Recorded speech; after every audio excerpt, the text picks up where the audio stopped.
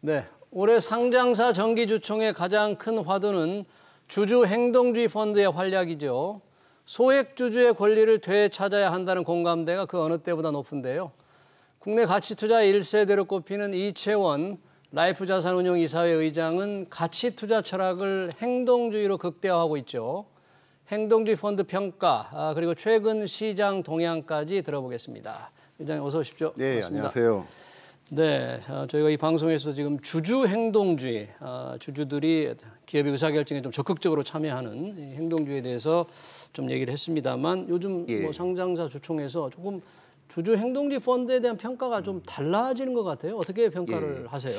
그렇습니다. 지금 뭐 관심을 많이 받는 이유도 사회적인 분위기가 많이 성숙한 것 같아요. 어, 예전에 보면 세상을 지배하는 힘의 원천이 뭔가 좀 바뀌고 있는 게 아닌가 이런 생각을 가지고 있어요. 예, 아주 오래전엔 뭐 권력이나 예. 어떤 군사력 같은 힘이 지배하는 세상이었고 음, 그 이후에 최근에 한 1, 200년 동안은 좀 자본주의가 도입되면서 뭔가 좀 돈이 지배하는 세상? 예, 일단 많은 문제점이 발생하면서 이제 뭔가 새로운 게 나와야 된다는 생각을 가지게 된 거예요. 네. 그게 이제 ESG라든지 ESG, 예, ESG라든지 뭐 모렐러티, 도덕 도덕, 이런 이런 개념이 좀 이게 팽배하면서 예.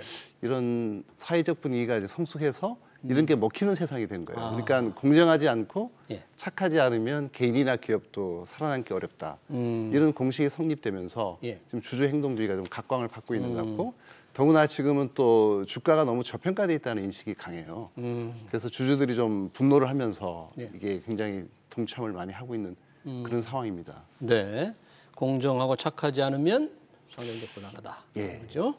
어, 이채원 의장께서는 이 우호적 행동주의를 표방하신다 그랬어요. 우호적 행동주의. 예. 그러니까 그 우호적 행동주의라는 것은 기업이나 그 기업의 대주주와 이해를 같이 한다. 뭐 이런 뜻입니까? 예, 맞습니다. 어. 그러니까 이해관계가 일치하는 기업에만 이제 투자를 하겠다는 거고요. 일반적으로 행동주의 하면은 뭔가 대주주와 싸우는 예. 뭐 이렇게 투영이 되는데 어떤 그렇습니다. 거죠, 이거는? 두 가지가 있는데 저희는 좀 결이 다른 네. 어. 거고요. 예. 그러니까 예를 들면 우리가 주식이 좋아서 샀는데 네. 그 기업이나 뭐 대주주는 주가가 오르길 원하지 않는다. 이런 기업은 저희는 투자를 안 한다는 거죠. 대주주들은 주가가 오르기를 원하지 않는다. 않는다. 그런 그런- 대주주 좀 많이 있어요. 있습니다. 어, 뭐 이유는 모르겠지만 상속세일 수도 있고요. 여러 가지 이유들이 있겠지만 아, 주가가 오르면 상속세를 많이 내야 많이. 내야 하니까. 예. 그러니까 상속이 될 때까지는 주가가 오르길 원하지 않는 거죠. 아. 뭐 언제까지나 이제 소액주주는 기다릴 수 없으니까 예. 문제가 발생하거든요. 그래서 소통할 의지가 있고 열린 기업에만 투자를 하고 음, 그래서 ESG를 향상시킬 의지가 있는 기업에만 저희는 투자를 합니다. ESG라는 게 환경, 환경, 예, 사회적 책임, 사회적 책임, 투명 경영, 투명 경영에 좀 관심이 많은 이런 그렇습니다. 관심이 많은 기업에만 예. 투자를 한다. 그 주가도 올라도 괜찮은 기업, 어, 예, 주가가 오르기를 원하는 기업. 기왕에 말씀을 하셨으니까 그동안 그런 관점, ESG 철학을 반영해서 조금 적극적으로 행동주의에 나선 해당 기업들은 어떤 게 있었죠? 어, 최근에 뭐 온라인이라는 예. 기업이 아주 활약을 하고 있고요. 온라인 파트너스. 예, 네. 온라인 파트너스죠. 예. 그 온라인 파트너스가 이제 SM 엔터테인먼트에 적극 활용했잖아요. 맞습니다, 맞습니다. 그러면 이채원 의장님과 온라인 파트너스는 뭐 철학이 좀 비슷합니까? 아니면 좀 다릅니까? 그게? 결이 조금 다르긴 하죠. 예, 전반적인 방향은 같은데 어. 예. 어, 저희는 좀 쉬운 길을 걸어가고 있고 예. 온라인은 좀 어려운 길을 걸어가고 있고 그래요? 어. 예, 아주 뭐 상당히 좀 활약을 하고 있는데 음, 어쨌든 소액 주주의 어떤 이익을 대변하고 또 주주 가치를 제고시키겠다는 의지는 높게 평가해야 되고요. 음. 지금 그리고 어떤 시장의 명분이나 논리를 좀 컨센서스를 잘 도출해내는 것 같아요. 그러니까 왜 이래야만 되는 왜 이유라든지. 뭐 SM뿐만이 아니고 은행 같은 경우도 언급을 했지만은 온라인 파트너스가 은행에 대해서도 많이 예, 주제 했고 제안을 많이 했죠. 홍보를 충분히 합니다. 충분히 해서 어.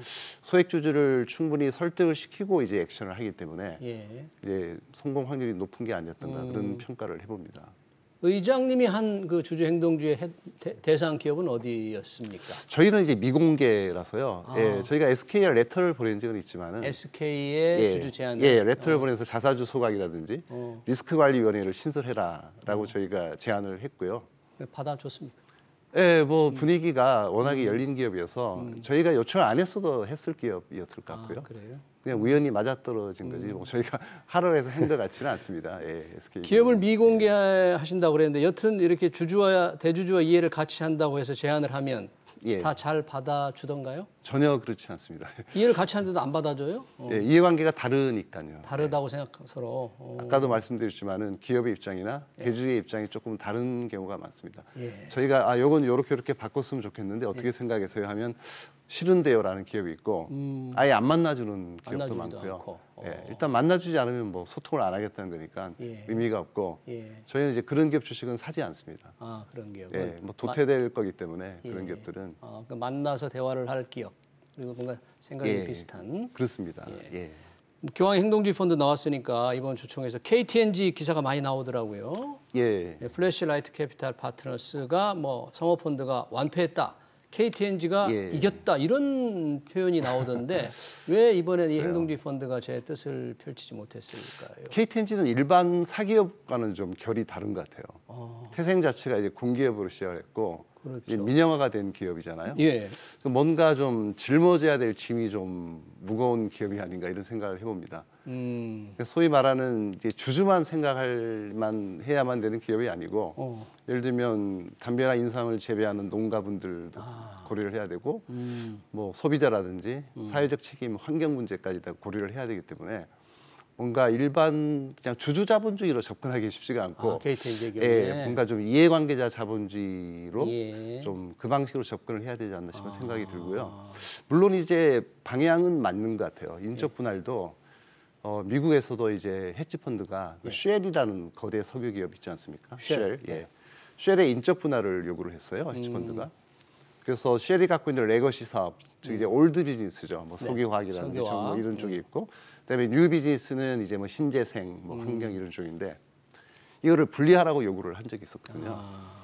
왜냐하면 이제 주주가 다 다양하니까 네. 어떤 분들은 그냥 뭐 old business에 투자해서 우린 배당만 받을래 하는 분도 있고 이게 안전하니까 예, 아니면 나는 성장성 있는 산업이 좋아라는 사람도 있잖아요. 예, 그래서 인적 분할을 해놓으면 이제 각각 뭐 이거 팔고 이거 사면 되고 이거 팔고 이거 사면 되니까 깔끔하게 정리가 되기 때문에 그리고 기업 가치도 이제 올라가게 돼 있어요 결국은. 어차피 기본 배당을 하고 수익이 나기 때문에 old business도 적정 주가를 유지하고 성장성이 높은 쪽은 또 높은 multiple을 받기 때문에 주가가 오르거든요.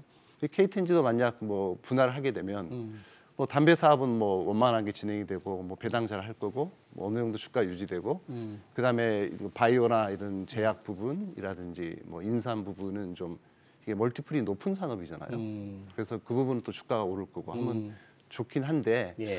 단지 이게 뭔가 좀 모든 이해관계자의 합의를 도출하는 과정이 필요하지 않았나 홍보도 하고 설득도 하고 음. 그래서 그런 부분이 좀 미흡한 것 같다는 생각이 좀 듭니다. 시간이 조금 더 필요할 수도 있겠네요. 그렇습니다.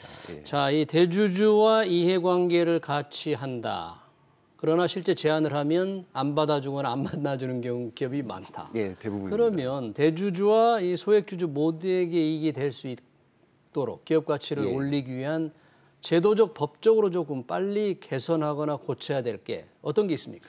어, 일단 채찍과 당근을 병행해야 된다고 생각하는데요.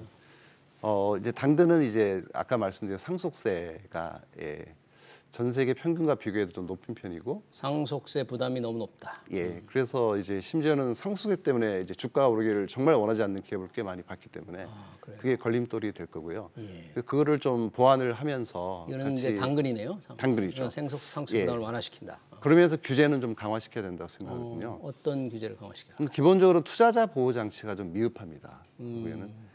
예를 들면 이제 상법 제 382조 사망이라고 하는 게 있거든요. 예, 뭐 어떤 내용입니까? 이게 보면 이제 뭐 duty of loyalty라 그래서 이사의 충실 의무에 대한 규정인데요. 예. 이사는 회사를 위해서 일한다 이렇게 돼 있습니다. 간단히 음. 말씀드리면 이사는 회사를 회사를. 위해서 일한다. 예. 근데 사실은 이사는 회사를 위해서도 일하고 예. 모든 주주를 위해서도 일해야 되는 게 이제 글로벌 트렌드고 음, 그리고 심지어는 요새는 뭐 소비자라든지 사회적 책임, 환경 문제까지 신경을 써야 되는 음. 이해관계자 자본주의로 가고 있거든요. 근데 아직은 우리는 이제 주주 자본주의에도 이제 못 미쳤기 때문에 음. 이런 부분이 좀 개정이 돼야 되고 상법을 고쳐서 예. 이사들이 주주를 위해서도 일할 수 있도록 법을 고칠 필요가 있다. 그렇습니다. 예. 사실 경북대 로스쿨에 이상훈 교수님이라고 계십니다. 이상훈 교수요? 예. 네. 그분이 계시는데 한 5년에 걸쳐서 음. 수십 편의 논문을 쓰셨어요. 관련된 논문을. 예. 그래서 코리아 디스카운트의 원인은 어, 주주의 비례적 이익이 보호되고 있지 않기 때문이다. 주주의 비례적이 보호되지 않고 예. 있다. 그러니까 소액 주주가 제대로 보호되지 않고 있다 이런 그렇죠. 얘기네요. 1% 주주는 1%만큼, 10% 주주는 10%만큼 보호를 받고 혜택을 받아야 되는데 예. 예를 들면 20, 30%의 이제 지배 주주가 7, 80%의 일반 주주의 이익을 편취하는 현상이 발생할 수가 있다라고 말씀하세요. 예. 그래서 이게 가장 중요하고요. 세부적으로 보면은 이제 요즘 이제 논란이 되고 있는 의무 공개 매수제도 의무 공개 매수. 네. 예.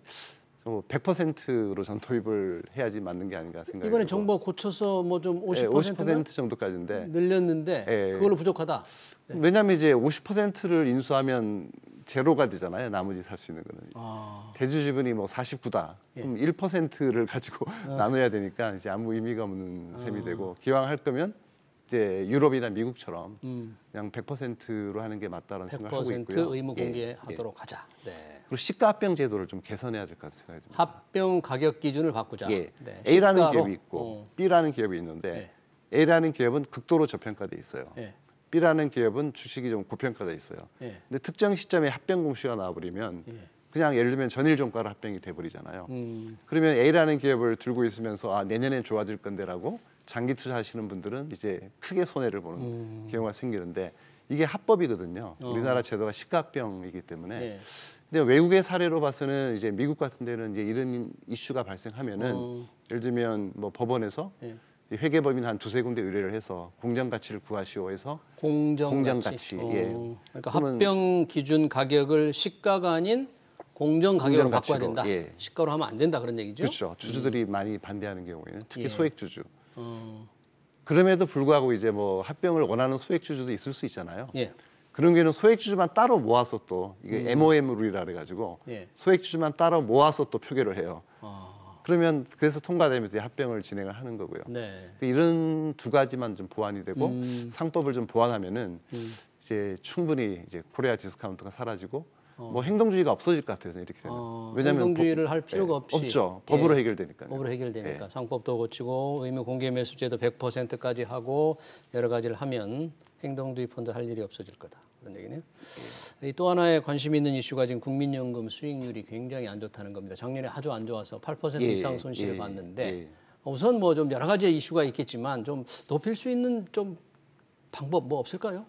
근데 기본적으로 뭐 코스피가 25% 작년에 하락을 했기 때문에 예. 예, 뭐 워낙에 거대 자금을 운영하다 보니까 손실이 날 수밖에 없다라는 날 생각을 수밖에 하고 없다. 있습니다. 예. 그리고 보완을 할 수 있다면은 너무 규모가 크기 때문에 음. 좀 분할을 해서 아. 예, 이거를 뭐 분야별로 분할을 한다든지 지역별로 분할을 해서 좀 이렇게 규모를 줄여놓으면 더 탄력적으로 이제 운영을 할 수 있지 않을까 생각도 들고요. 우리 시장에 비해서 예. 너무 고래라 이건가요? 좀 나누어서 운영을 어, 그렇죠. 규모가 너무 규모가 이제 커지니까요. 예. 예. 그러고 나서 이제 분야별로 이제 분할을 한 다음에 예. 이제 책임 경영을 좀 맡기면 보다 음. 권한을 많이 주고 전문성을 높이는 방안 뭐 이 정도를 한번 고려해봐도 되지 않을까 싶습니다. 네, 뭐 이 부분은 이제 더 얘기할 게 또 많습니다만 우리 시장 동향으로 잠깐 좀 돌아가 보겠습니다. 요즘 금융 은행 예. 위기 때문에 예, 굉장히 위태위태하는데 그렇습니다. 예. 뭐또 잘 견디고도 있어요.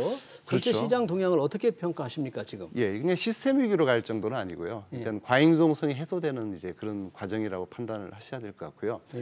예. 이제 금리가 더 이상 올라가지 않을 것 같다라든지, 음. 그러니까 Fed가 더 이상 금리를 인상할 것 같지 않다라든지, 예. 아니면 인플레이션이 아 확실히 좀 피크는 쳤구나라는 음. 컨센서스가 형성되면 저는 반등을 할 거로 보고 있고요. 예. 그리고 시장이 수급이 좀 좋습니다 올해는. 수급이 좋다는 건 예. 무슨 뜻이에요? 작년에 주식을 너무 많이 팔았어요. 아, 뭐 기업 공 IPO 같은 기업 공개를 많이 했다 그러다 예. 전 세계 모든 투자자들이 어. 한 3,200조를 순매도했다고 합니다 작년에. 3,200조 3,200조를 순매도를 순매도. 했다. 어. 근데 저희가 자료를 외국계 레포트 자료를 보니까요. 예. 거기서 올해 만약 이제 맨데이트, 그러니까 예를 들면 국민연금이 의무적으로 주식을 뭐 10% 사야 된다 이런 걸 다 종합해서 판단을 해보니까 올해는 뭐 3,700조 정도로 사야 된다 이런 레포트가 나온 적이 있어요. 3,700조. 누가 3,700조 산다는 거예요? 전 세계 글로벌 투자자들이요. 전 세계 글로벌 예. 투자자들이 기관 올해 투자자. 사야 될 주식이 3,700조. 예, 예, 그렇게 추정이 된다고 추정이 하더라고요. 예. 파는 물량은 뭐? 그 물량 모르잖아요. 어, 이게 순매수 기준이라서 순매수? 예, 사야 될 건 사야 될 건데 아, 순매수가 3,700조라는 얘기예요? 작년에 순매도가 3,200조니까 올해는 순매수가 3,700조 될 거로. 그 엄청나게 수급 상황이 좋아지는 거네요. 그렇죠. 작년에 팔았던 걸 다시 다 사야 되는 그런 음. 거죠. 그 작년에 그렇게 팔았으니까 주식이 대폭락을 한 거고 어. 올해는 만약 물론 이렇게 맨데이트를 이행을 안 할 수도 있겠지만은 예. 어쨌든 수급이 나쁘진 않을 것 같아요. 아, 그래요? 외국인들 주식 많이 사고 있거든요, 실제로. 지금, 예. 음, 좀 채워 넣는지가 확실히 올해 그렇습니다. 예. 굉장히 중요한 하나의 통계 같은데 그러면 그 동안에 뭐 예. 2000년대 초반 정말 가치주 투자로 명성을 날리셨는데 예. 늘 그러니까 올해 그럼 가치주의 좀 전망 평가는 어떻게 하세요? 예. 어, 10년 만에 다시 돌아온 것 같습니다. 형세가 크게 바뀌고 있는 것 같고요. 오. 과거 10년간은 디플레이션 저금리잖아요. 네. 성장주에 굉장히 유리한 국면이고 예. 뭔가 새로 사업을 시작하는 분들한테는 좁습니다. 물가가 떨어지고 금리가 낮으니까 자금 조달 금방 해서 공장을 쉽게 졌죠. 예. 이제는 인플레이션 고금리 시대가 와서 예. 정말 공장 짓기 어렵고 2년 전에 지은 공장을 똑같이 지으려면 뭐 거의 두 배 가까운 가격을 지불해야 지을 수 있다고 합니다. 예. 그래서 지금은 현금이 많고 음. 좋은 부지, 좋은 설비, 좋은 공장, 좋은 인력을 가지고 있는 소위 우량 가치주의 굉장히 유리한 형세가 오고 있다는 거고요. 지금 현재 시장 자체는 좀 중구난방이에요. 그러니까 뭐 테마주죠. 챗GPT, 배터리 뭐 예. 일로 갔다 저로 갔다 하는데 어느 정도 시장이 이제 한 바퀴 돌고 나면 음. 저는 하반기 정도부터는 좀 가치주의 굉장히 유리한 형세가 올 것으로 보고 있습니다. 짧게 우리 시청자들이 다 아는 것 같아요. 가치주 한번 다시 한번 좀 설명해 주시죠. 가치주를 뭐라 어떤 걸 가치주라고 그럽니까? 보통 이제 서- 성장성이 낮고 음. 예. 좀 굴뚝 산업을 한다든지 국영지에 속한 기업이라든지 이런 거를 가치주로 하는데 음. 그거는 맞은 건 아니고요. 예. 사실 내재 가치보다 저평가돼 있는 게 가치주라고 할 수 있는 거고요. 아, 내재 가치보다 저평가되어 저평가되어 있는 거. 게, 예. 업종은 따로 구분은 없어요. 구분 없습니다. 아? 성장성이 아주 높은데 어. 그 바이오가 됐든 IT 기업이 됐든 간에 예. 성장성이 엄청 높은데 지금은 낮게 평가돼 있는 낮게 기업 평가돼 이제 가치주라고 있는데 네. 음. 이거는 나중에 판명이 나기 때문에 투자하기 굉장히 어렵습니다. 지금 이게 가치주인지 아닌지는 몇 년 지나봐야지 아는 거잖아요. 예. 잘 알겠습니다. 어, 수급 상황이 상당히 좋다는 말씀 좀 기억에 새겨야 될 것 같네요. 예. 네, 어, 최근 어, 시장 동향 분석 잘 들었습니다. 지금까지 이채원 라이프 자산운용 이사회 의장이었습니다. 의장님 고맙습니다. 예. 감사합니다. 네.